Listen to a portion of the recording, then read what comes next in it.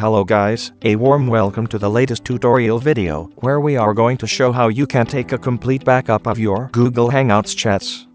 Google Hangouts is an essential application to perform necessary communication without sending emails via Gmail, but sending a direct message in simple chats.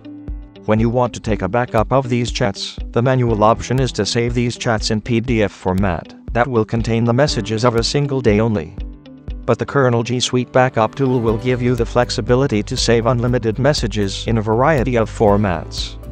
It is straightforward to use and helps you take an easy backup of Google Hangout chats. Start the software and click the Add button in the Add section. Input G Suite ID, the service account ID, and the P12 key associated with the service account. Choose the option for a single mailbox or multiple mailboxes and click the Add button.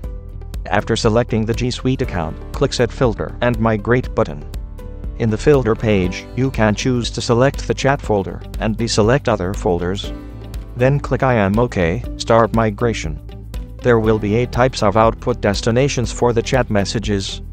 PST, MSG, MHTML, HTML, DOCX, DOC, PDF, EML. Select one and click the OK button provide the destination to save the files. Then click OK. The chat messages are saved successfully. A message will prompt and inform you that the process is complete.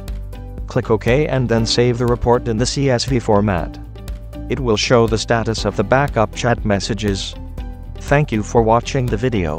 Please subscribe to our channel to get more such videos, and click the bell icon to get the instant notification whenever a new video is uploaded.